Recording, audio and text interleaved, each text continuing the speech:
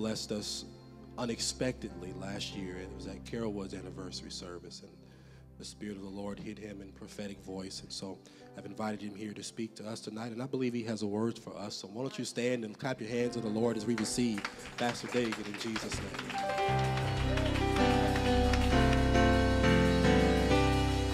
Hallelujah, Jesus. Why don't you clap your hands and lift up the name of Jesus? Can you worship?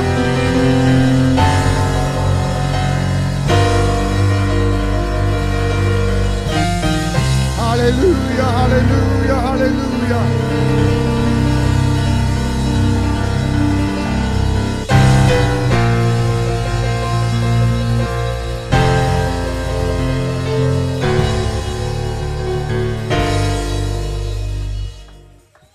Thank you very much. I know you're standing. We honor Pastor Sister Crow. As it's been said, the saints of God and all the leaders, pastors and ministers of this congregation and the other pastors, Collins and my friend Brother Gordon, we celebrate your election and promotion. I look forward to serving with you. I felt really good about it. I thought it was a ordination of God. As the lot fell to Matthias, I thought the lot fell to you. And I'm thankful that your voice is going to be in that room. Hallelujah. Jesus, can I have another amen? I don't have an opening text or any of that. Let me just tell you what I feel. Over the last 18 years, as Pastor has said, been many prophecies and dreams and visions that has been spoken over this congregation declaring what God has in store for this church and this congregation. As a people, God has brought you to this moment, the door of stepping into the fulfillment of those prophecies, dreams, and vision. I want to ask you to pray with me tonight that God would release understanding in this house and that there will be an impartation. Can we pray together right now?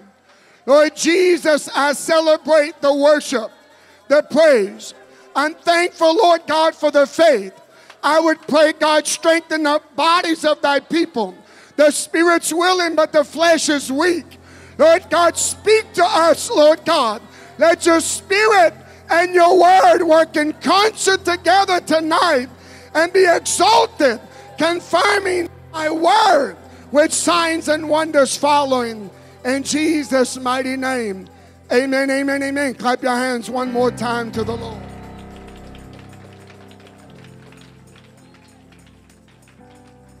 God bless you. You may be seated. If you'll go with me, God wants to talk to us tonight and help us and speak to us. But you got to go with me. I ain't going without you.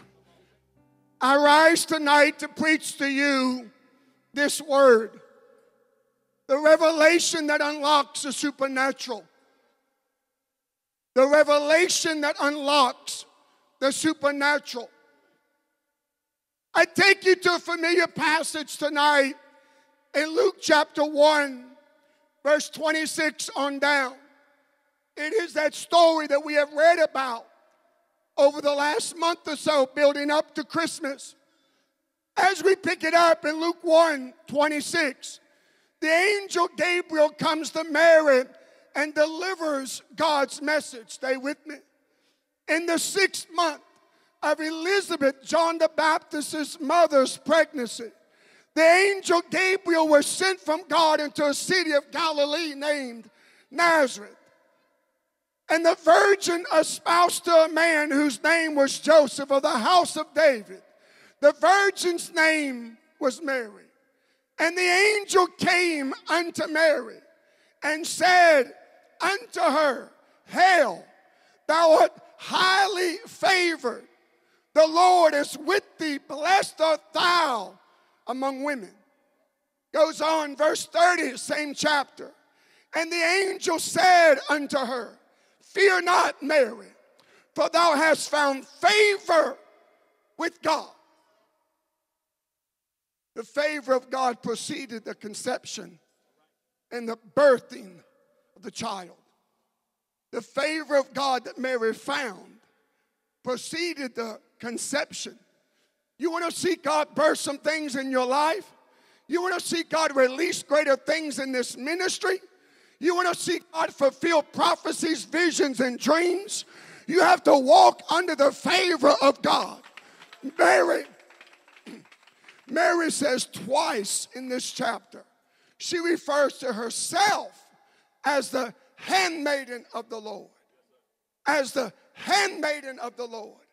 I think in that we get a picture of what it means for God to favor Mary, being highly favored of God. She doesn't become boastful and arrogant. She doesn't walk around later identifying herself as a mother of God. She views herself in a mindset of humility. I am the handmaiden of God. And the favor of God came upon her. And the favor, the touch, the tangible touch of God's anointing upon her, the favor of God preceded the conception, even. And it certainly preceded the birthing. Verse 31, it tells us, and the angel Gabriel said unto her that you'll conceive that womb and you'll bring forth a child, and his name shall be called Jesus, for he shall save his people from their sins. The angel Gabriel, the messenger angel of God, just came to her. As Israel has anticipated and waited for the coming Mashiach, the promise, as they have from the earliest of times anticipated the fulfillment of the prophecies. Who is going to be the woman that brings forth the Mashiach, the Messiah, the Savior to the world? And now the angel Gabriel comes and is manifested and is speaking unto her, highly favored. Holy Ghost is going to overshadow thee, and you're going to conceive, and that which is called, that which is born of thee shall be called the Son of God. The angel tells her that you're the one. And she responds to that. And Mary said unto the angel, How shall this be seen? I know not a man.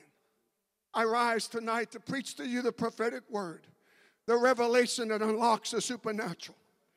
God just sent a word to her and said that you've been chosen. The favor of God is upon your life. And now there's going to be a conception and a birthing literally a delivering of greater things. In the natural, you are going to see the manifestation of the favor of God upon your life. And when the angel delivers that word, she responds, uh, measuring everything upon the arm of the flesh. Uh, she responds to the word from heaven uh, with questions How can this be? I know not a man. For you to walk into what God has for you as a church, as an individual, as a family, you're going to have to stop measuring the word of God through the arm of your flesh. You are going to have to stop viewing what God could do through the capacity of your bank account, through your wisdom, through your knowledge, uh, through your talents, and through your giftings. Uh, this is not a backslidden woman. This is not a heathen woman. This is an honorable woman that knows the favor of God. But she still has flesh. The angel of God tells her, You're going to birth the Messiah. His name should be Jesus, save his people from their sins. And she says, Oh, this is impossible. God cannot do this because I know not a man. In this hour of the church, God is going to do something that makes no logical sense. How did they get all those animals on the ark in Noah's day? As it was in the days of Noah.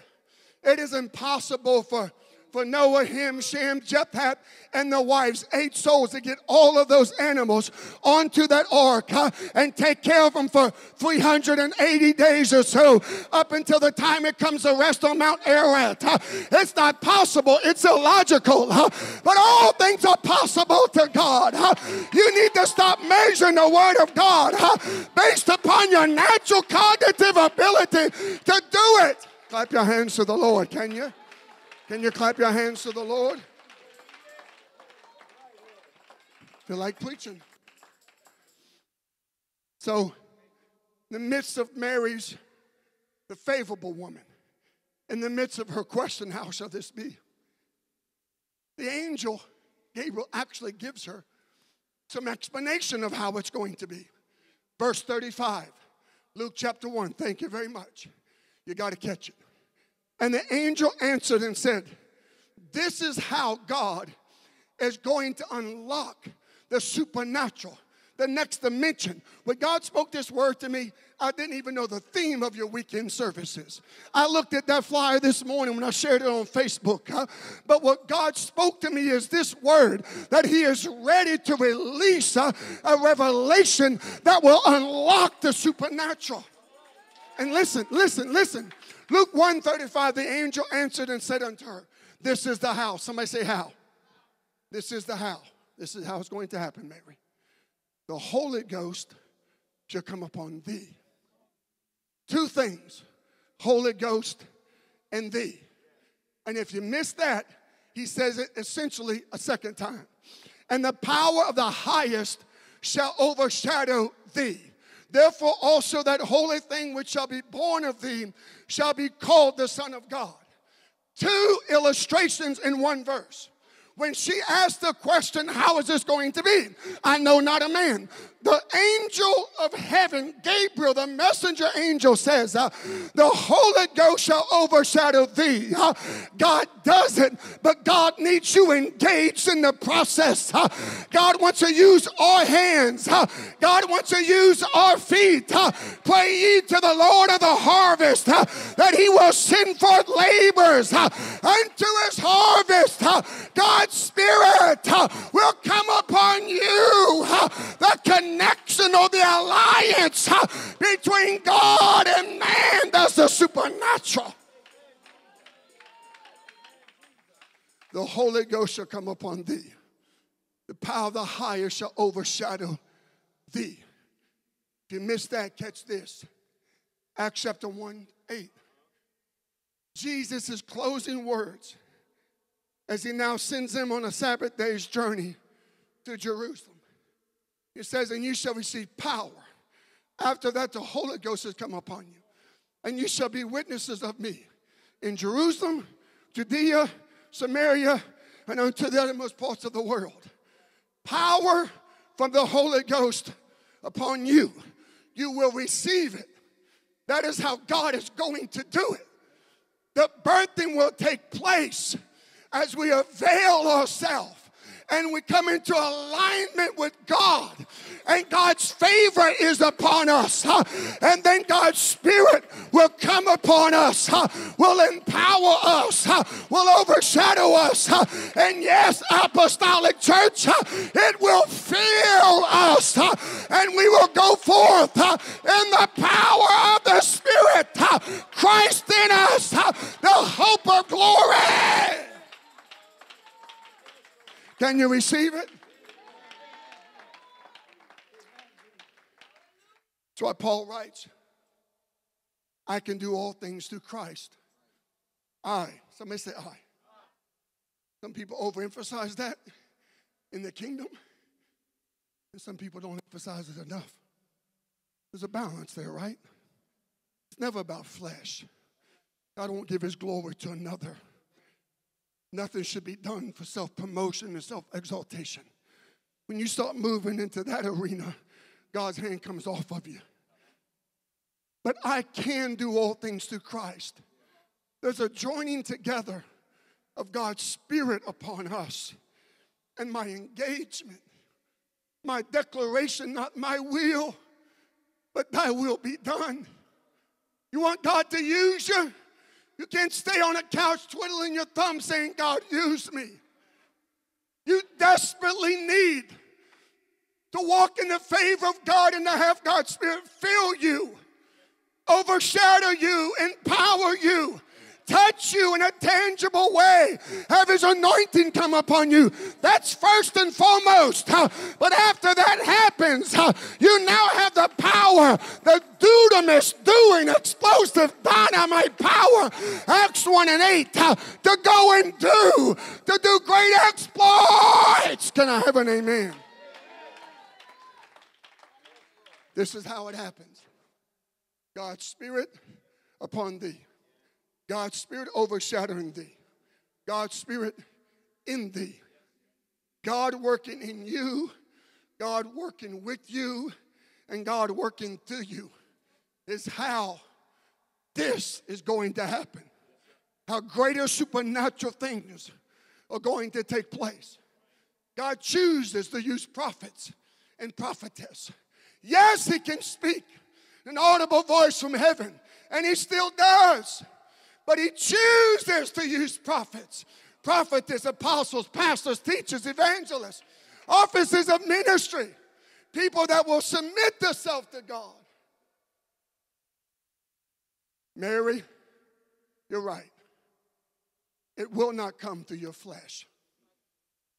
We are in an hour like no other hour. Interest rates are insane. Church insurance is, I mean, literally off the charts. It will not happen through the arm of the flesh. But I can do all things through Christ. We can do all things through Christ. I preach to you the revelation that unlocks the supernatural. The story continues with Mary, the angel Gabriel, in this dialogue, this discourse. It's still prior to conception, but she's received a word about conception, what's coming. Luke 1 36, and the angel says, And behold, that cousin, she hath also conceived. So when Mary asked the question, How shall this be? I know not a man. The angel Gabriel tells her how it's going to happen. The Spirit's going to come upon you, overshadow. But then the angel gives her an example of what God can do. And he holds up an example of somebody that she knows. That she knows. I'm so thankful in my weakness, God just labors with me. I'm so thankful in my frailty, God just labors with me. I'm so thankful in my questions. God is just patient and long suffering with me. Don't give up on yourself. God's not going to give up on you. God's going to stay right there. He's going to labor with you. He's going to suffer along with you. And the angel gave an example. And the angel gave an example. Okay, so I can see, I'm just thinking out loud. Mary, that you're struggling to understand and receive this. Okay, let me bring it home to you now. Like that cousin Elizabeth, you know that that old cousin. That cousin, the Bible says in Luke 136, who was called, somebody say called. See if I can do this, Pastor Collins, without killing myself. That cousin who was called barren. She wasn't just barren. It was not just a reality of her medical condition her womb was closed, unable to have a child. But she was known, best I can tell, she was known in the community for being barren. Man, I drive by that church, ain't but four cars in the parking lot. I go in, there's more empty chairs than there is live body. I'm not preaching about yours, I'm preaching about the one that I pastor. Oh my God, those people don't have anything going on. This woman was called barren, she was identified. Let me pause and say something. You need to stop allowing Satan to identify you because of a condition in your life huh, that you could not help. You need to stop, boy, I'm in the Holy Ghost now. You need to stop allowing Satan to identify you because of a physical, neurological condition in your life huh, that you did nothing to cause. And she was called barren. Elizabeth, your cousin. She's old and she's called Mary. You, you know Mary, right? You remember. Yeah, I know, I know. Elizabeth now is in the sixth month of her pregnancy. She has conceived a child, John the Baptist, and she is in the sixth month of her pregnancy. Sometimes you just got to get around some people that have already seen the manifestation of what you want to come to realize. Sometimes you just got to get around it to catch it. Some things are not taught, they're literally caught, they're transferred into your spirit. If you're struggling getting past something, go get with somebody that has an anointing upon them because they have conquered that thing. Hallelujah, Jesus.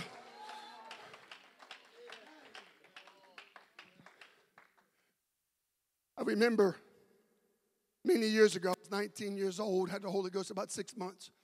A pastor said to me, I couldn't spell Bible, like literally, I couldn't spell Bible. My pastor said, Brother Dagan, Brother Daniel, I want to take you with me. There's a gift of the Spirit seminar taking place. A man by the name of Freddie Clark. He's no longer in our fellowship, but he was teaching on the gifts of the Spirit, mightily used. He said, I, I just feel like you need to be around that to catch something. And, and I, I didn't even study at that point the passage in 1 Corinthians 12, 8 to 10. 1 Corinthians 14 on the gifts of the Spirit. But my pastor sensed it. And he says, You need to get around some people that's already experienced that. The angel Gabriel says, Your old cousin Elizabeth, that was barren, now has a child, and she is six months into this. Verse 37. This is the last statement of the angel Gabriel unto Mary before the angel's part of the conversation's over. For with God, nothing, somebody say nothing, nothing shall be impossible. For with God, nothing shall be impossible. Now, if Mary accepts that or not, it's a truth. If, if Mary walks in the revelation of that or not, it is still a truth that is absolutely settled from heaven. The angel has delivered the prophecy. The angel has been patient and loving and kind towards Mary, giving examples, giving explanation. My God, I pray over a situation, I don't get anything. But the angel gives an answer to Mary, a prophecy to Mary, how it's going to happen, uh, an example of a cousin. And now the angel says, with God, nothing shall be impossible. That truth is settled, it's done. The question now is Is Mary going to ever realize? Is she going to unlock the supernatural and the miraculous in her life? That's why in one church service, that person gets blessed, wiped out in the Holy Ghost, and they leave with their life changed. And that person leaves unmoved and unaffected. Because the reality of the truth is that God can touch both of them, that nothing is impossible to God. But one hears the word and mixes it with faith, responds with a hunger, and is not a hearer only, but a doer. They respond, and the other one does not. So, Mary, the ball's in your court now.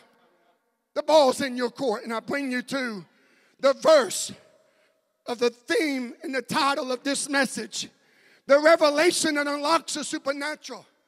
As the angel now ascends away, for with God nothing shall be impossible. Verse 38. Verse 38. And Mary said, Behold, the handmaiden, there's a humility. Behold, the handmaiden of the Lord be it unto me according to thy word. Leave the verse up. That's the revelation that unlocks the supernatural. Not just in Mary's life, but in my life and in your life. The question now, with your eternity, with the visions and the dreams and the prophecies laying in the balance, like a teeter tot on the playground, with them laying in the balance. The question is not, can God do it? Of course, He can do it. He's omnipotent, all powerful, omniscient, all knowing, omnipresent, fills all time and space. Of course, He can do it. The question is, are you going to move beyond your questions and your weakness and your frailties and your inabilities and come to the declaration and revelation that unlocks the supernatural? In your life, in your family, and in your church. Be it according to thy word. Be it according to thy word. The vision shall come to pass and it will not lie. It may tarry, but it will come to pass and it will not lie. The promises of God are yea and amen. God is not a man that he would lie. There's no slackness in God, there's no shadow of turning with God. God's word is forever settled in heaven. Can you receive it? Why don't you worship? Can you worship?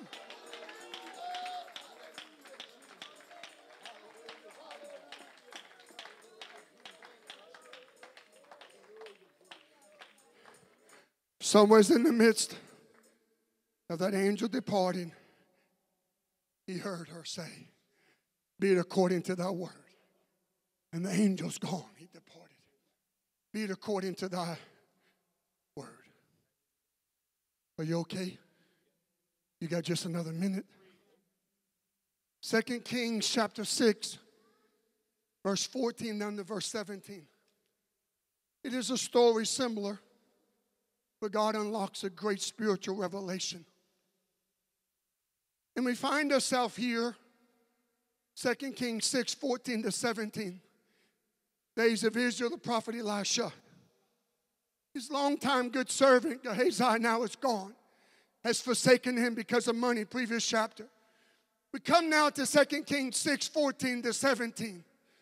It opens up with a great number of the sons of the prophets. A larger facility is needed because there's so many young prophets. It's amazing when you lose somebody that was so promising. Like Gehazi. God has a way of just sending so many more. And they had so many young prophets huh, that they needed a bigger venue, a bigger facility. And so it, I hasten to the point. King Syria now was planning, the king of Syria was planning a great attack against Israel. And one of the young prophets working under Elijah's mentorship gets wind and gets knowledge of what's coming. the king of Syria is going to bring his chariots and horses and is encamping the city. Second Kings 6, verse 15. And when the servant of the man of God, a young prophet, was risen early, went forth, and behold, a host compassed the city, both with horses and chariots. The army of Syria had compassed the city. The servant said unto Elisha, Last master, how shall we do? There it is again. How shall we do? You have to get over this word how. If you're ever going to see into the spirit, if you're ever going to see the supernatural, if you're ever going to see him bring in, God bring him into the kingdom from hellholes huh, and from whorehouses huh, and from meth and from fentanyl huh, and from all of that. You got to stop looking through the eyes of natural thinking, carnality and your own ability. You got to move beyond the how and say, God, open my eyes up. God, let me see through the eyes of faith. And the young servant says unto Elijah, the elder prophet of God, Elijah, Master, how shall this be? How will we overcome this? Elijah says in verse 16, 2 Kings 6, Fear not. They that be with us are more than they that be with them. Elijah prayed and said, Lord, I pray thee, open his eyes that he may see. In just a moment, we're going to pray. And that is a prayer I want us to pray. God, open our eyes to see.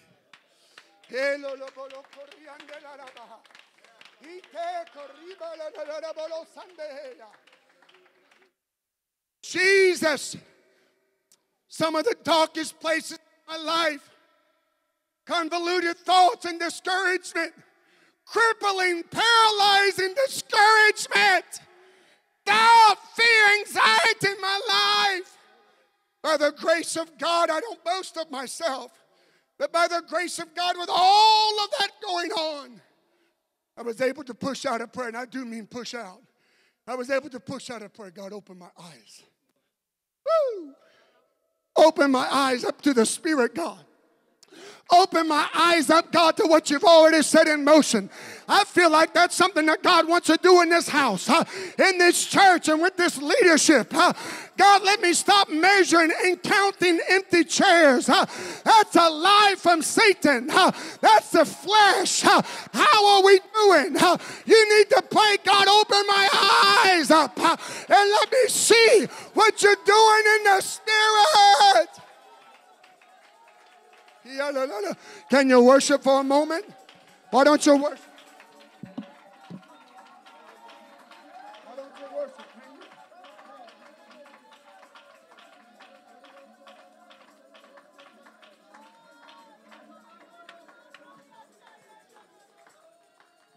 Hallelujah. And the elder, and the elder prayed. Lord, I pray thee open his eyes that he may see. And the Lord opened the eyes of the young man, and he saw, behold, the mountain was full of horses and chariots. Imagine Elisha was thinking about when his predecessor, when his man of God was taken away in the whirlwind of fire, chariots of fire, carried away. It represents the angels. That represents the Spirit of God. It represents the host of heaven. And God opened up the eyes of the servant to see there's more with us than that's against us. The angels of heaven are standing with us. I believe in this hour, as you read through the book of Acts, it is absolutely undeniable. Not only is there visions and dreams in the last day church, there's clear, notable manifestation of angels in the last day church. It is not biblical to pray to them or to worship them. We pray to God, but in God's wisdom, He chooses to use them at His charge. And I believe God is going to give us a greater awareness of angels. Uh, the angel of the Lord encampeth round about those uh, that fear Him. Uh, God, let me be sensitive to the accompaniment and the presence of angels.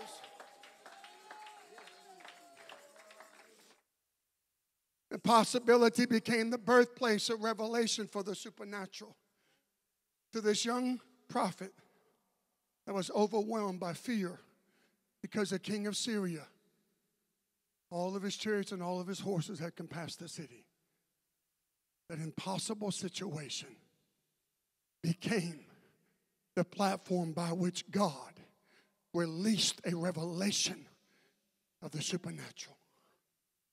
God, many times in our weakness, would teach us some of our greatest lessons. God, many times in our frailty, because we, we get to the point where we can't fix it. We get to the point where we can't even hardly carry it any longer. We get to the point that we can't even rationalize how we're going to make the bills come together. As uncomfortable as that place is to be, I certainly do not want to go there by own choosing. But that is a prime place to be for God to show you something that many times when things are good, we hurry right past that revelation because we can and thus we do. But when we cannot, the place of weakness, issue of blood for 12 long years, my money's gone now. I wonder why she had to wait until she was broke. As long as I got some money, I can find me a doctor. The doctor can fix my issue of blood. My money is gone now. Doctors cannot help me. Okay? I know it's been a bad journey for you, woman, but you are primed in position for God to open up the supernatural to you. You are not ready. You need to hear me right now. You were not ready to receive it earlier. You have wondered why your darkness has gotten greater. You have wondered why the hole has gotten deeper. You have wondered because you have prayed and prayed and God has not moved. Yes, you have prayed and you prayed sincere prayers, but you have not relinquished the control of it to God. You have not laid it on an altar and submitted your spirit to God. It says of Christ, Paul writes of Christ, that he learned obedience. Dig it out. Keep the preacher honest. Paul writes in Hebrews about Christ learning obedience in the days of his flesh, of course, his humanity. If he had to learn obedience, not my will, thy will be done, God in the Gethsemane prayer, if he has to learn obedience, what about us? I know old damnable Daniel with my carnal flesh has to learn obedience. You know how we learn that? If we choose not to surrender all God loves us so much, He puts us in a place of breaking. Fall upon the rock. That's your choice. You do that, it'll be a much easier process. It certainly seems to me to be more honorable. But if you choose not to, it's coming. The rock is going to fall upon you. Because it's not about your comfort in this life, it is about us being right with God and hearing the words, Well done that good and faithful servant. Elisha spoke a prayer, and God, in an incredible moment of difficulty, opened the eyes up of a young prophet. I closed. I wonder if the, just, just a keyboard player can play very softly, please. I close. Pastor put on the flyer, or had somebody put on the flyer, releasing the prophetic had the message several days ago that God gave me to preach here tonight. I did not have a closing. I did not feel settled on how to close it until late this afternoon. I close now, Joshua chapter 3. The young man, somebody said it, the outreach minister said it tonight. It was a confirmation to me. He talked about going into the land to possess. We come to Joshua 3 now. It has been a time of ancestral generational bondage and hardship. Now they have come out of 400 plus years of Egyptian bondage, come across the Red Sea, 40 years of wandering now. That generation's died off, save Joshua and Caleb. And Joshua brings them to the brink of the overflowing Jordan in the time of harvest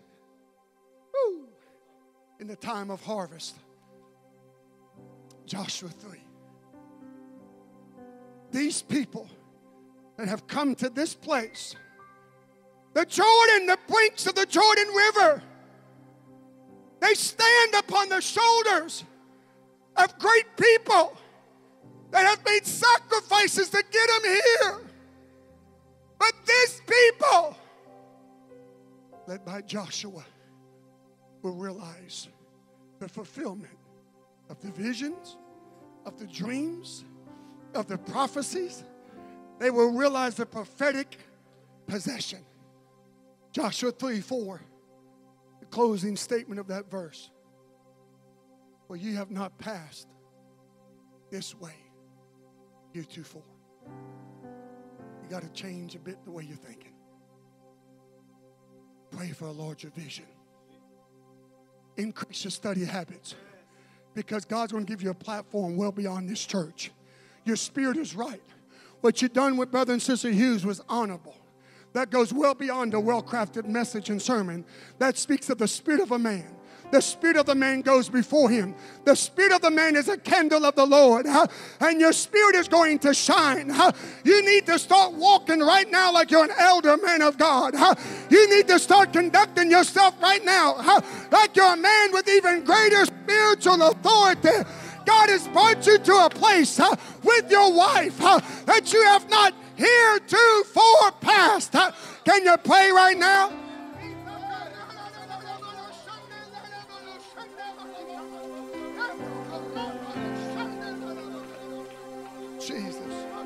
That's it. Can you pray for a moment? That's it. Can you pray for a moment? Can you pray for a moment?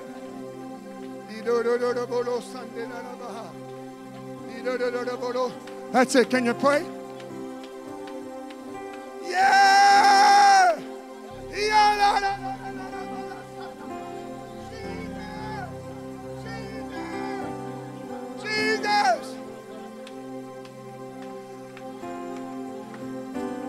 That's it. Some of you ladies gather with Sister Crow. You others stretch your hands up here. Yes!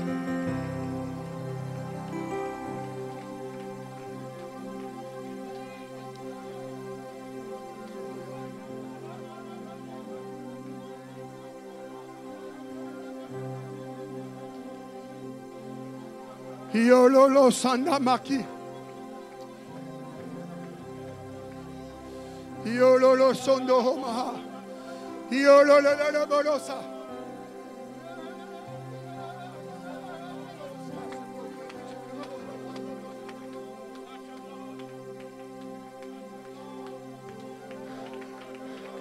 Can you come over here with me? Do you mind? Hallelujah. Hallelujah. Sister Crow, come over here and join us. That's it. Stay prayerful. Stay prayerful. Stay prayerful. Brother and Sister Crow, come right over here. Pastor Collins, Sister Collins, can you join us? Face the congregation.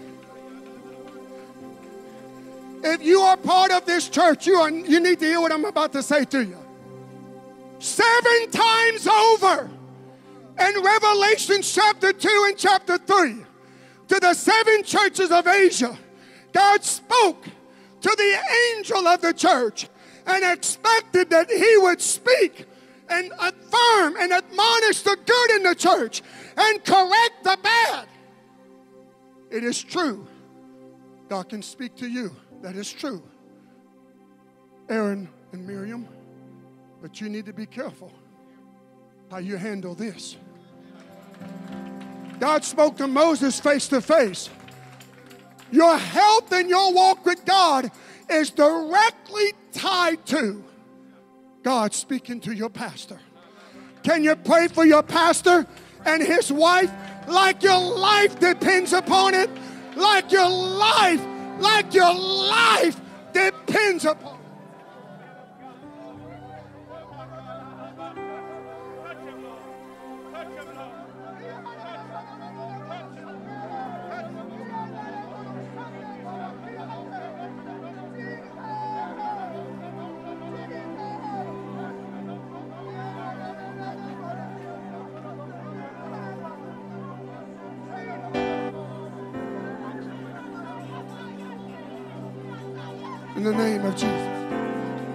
Jesus. said. Can you pray?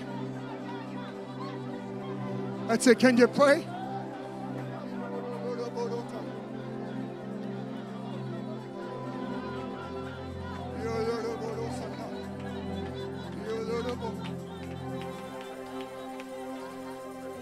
God, touch him.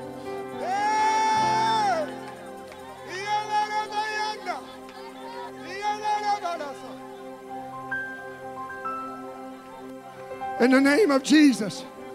The name of Jesus. The name of Jesus. In the name of Jesus.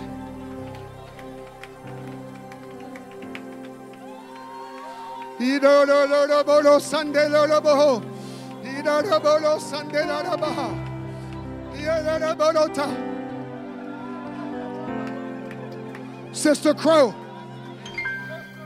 I want to share a word if I may.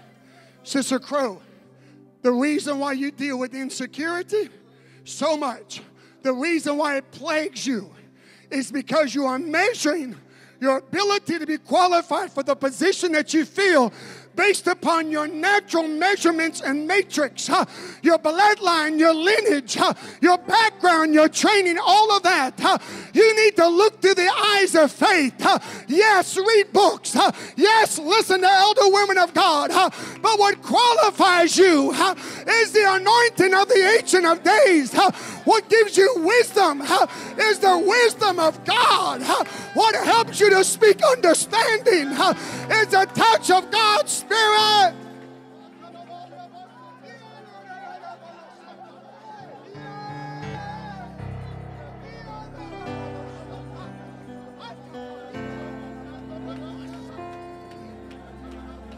In Jesus' name.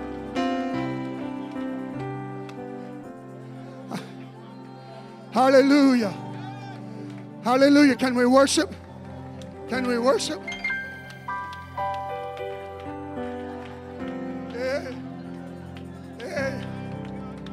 Hallelujah. I, I feel another word for this for this sister right here. The last 10 minutes of the message, I felt a very drawing and arresting of the Holy Ghost towards you.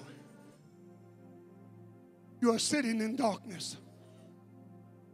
But there's a revelation and an understanding that you have not yet embraced, that God is trying to teach you. He's trying to cultivate a greater dimension of trust. Though I sit in darkness, the Lord shall be a light unto me. You will graduate from the present trial. You will move on and not go back.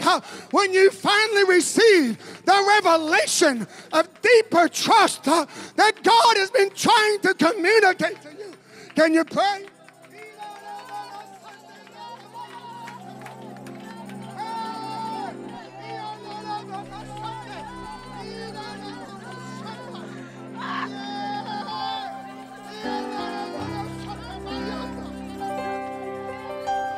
Can you pray?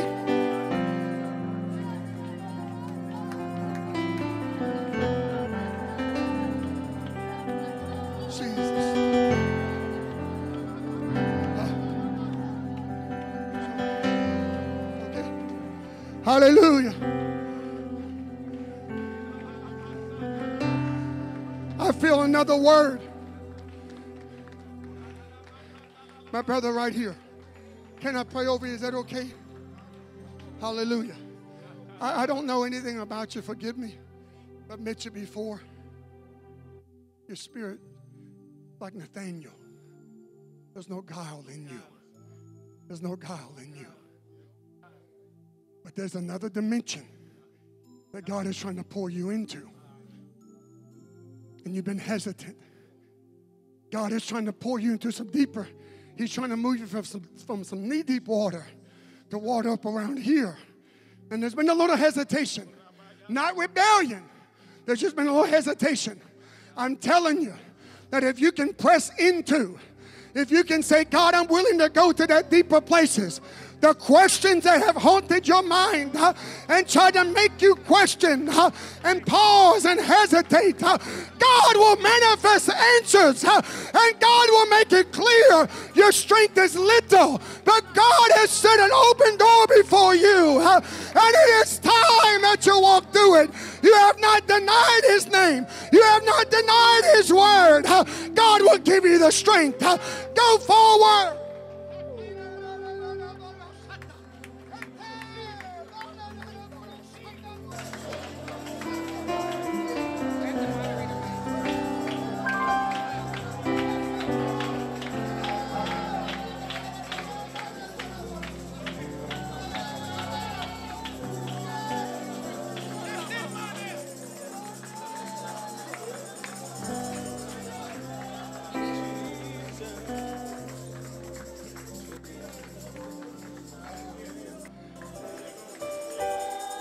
Led to share a word with this couple.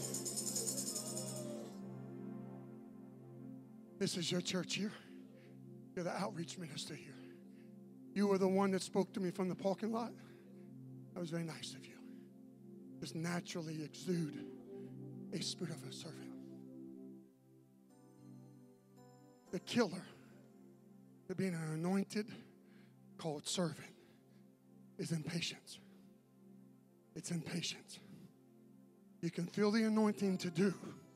That does not mean that you have the wisdom at this moment to fulfill that.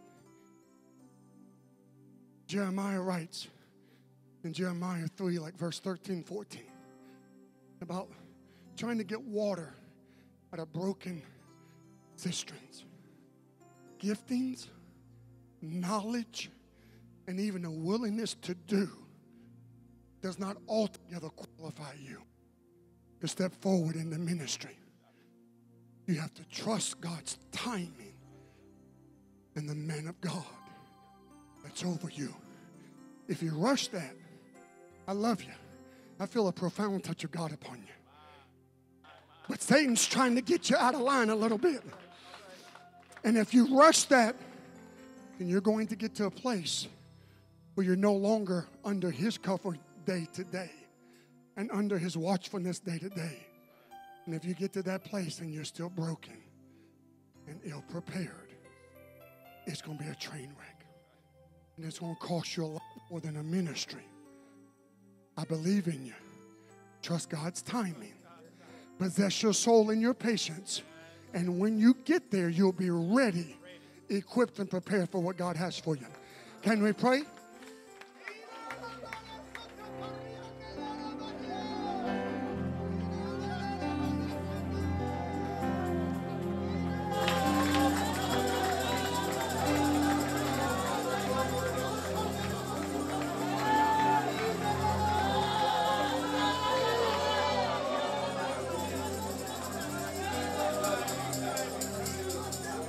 Yes, yes. Can we pray?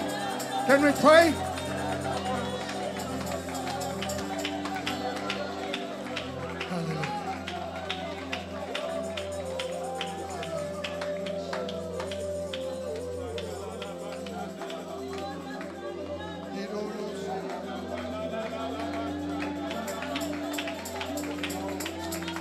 Can we pray another minute?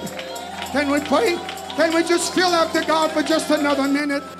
I'm not trying to extend it, but can we feel after God for another moment?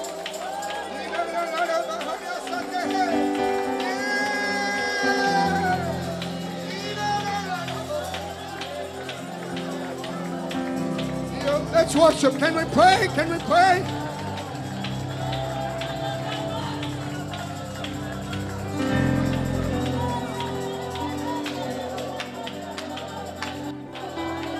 Hallelujah. Hallelujah. Hallelujah. Hallelujah. Hallelujah. Hallelujah. I want to share a word here with my brother. I want to share a word here with my brother. You keep praying. I don't want to do anything to make you feel uncomfortable, sir. You're a sincere man. I feel an openness in your heart towards the things of God. The prodigal son, Luke 15, he found himself in a dark place. He came to himself, not because of his older brother, not because of what his daddy done. Thank God for the supporting staff in the church. Thank God for family members that love us. huh? But he came to himself and he went back to the Father's house. huh? And from all indications, he was with the Father the rest of his life. Your miracle is tied to you coming to yourself. When you settle it, when you have a prayer meeting, everything will change. Thank God for my prayers and their prayers. But when you have a prayer meeting and settle it, God has something for me. God wants to bless me. Then it'll be settled from now until your dying breath.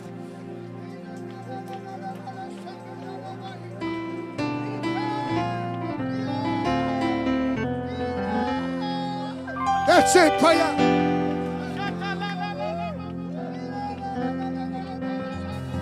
Nothing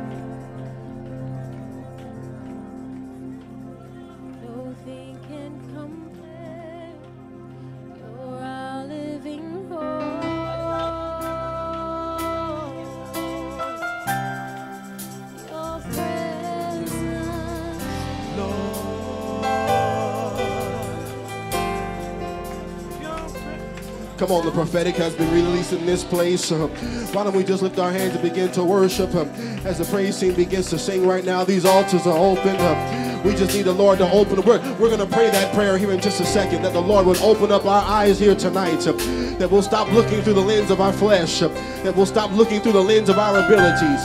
That we'll stop looking through the lens of our natural abilities. But we'll trust and believe in God and the Spirit of God. Come on, if you're in this place, why don't you stand with me uh, as I go before the Lord in prayer here tonight. uh, And we open up this altar here tonight. uh, Even if you're beside somebody, if you feel appropriate, connect with him and pray tonight. We want God to open up our eyes. Open up our eyes and we can see that there is more for us than be against us. Come on, let's pray right now. Heavenly Father, in the name of Jesus, we thank you tonight, Lord God, for your prophetic word. We thank you tonight, Lord God, for the release of your prophecy. We thank you tonight, Lord God, for your man servant, Lord God. We pray the prayer of faith right now, oh God, that you, Lord God, will open up our eyes, Lord God, that we may see that there is more for us, oh God. Than be against us, Lord God. Open up the eyes of every soul in this place. Release the prophetic in Jesus' name. Release the prophecy, oh God. Release every dream. Let it come to pass. You said your promises are yea and amen, Lord God. We put our flesh down today, oh God. We're not walking by the flesh, Lord. But we walk in faith today, Lord God. Open up our eyes, Lord God. Release your angels into this place. Release every healing angel, Lord God. Release every warring angel, Lord God. Release every delivering angel, Lord God. Release it over every soul. Release it over every backslider. Release it over every church. Release it over every family. Release it right here in this altar. Let us leave with faith. Faith. Faith. To believe that you are. And you are a rewarder of them that diligently seek you. Father, we seek your face tonight. Father, we seek your face tonight. Lead us by the Holy Ghost. Lead us and guide us by your word. In the mighty name of Jesus. Come on and cry out to the Lord.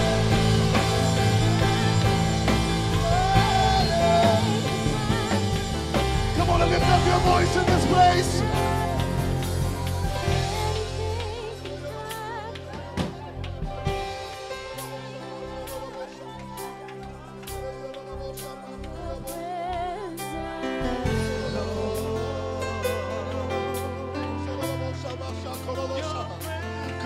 Ghost is moving.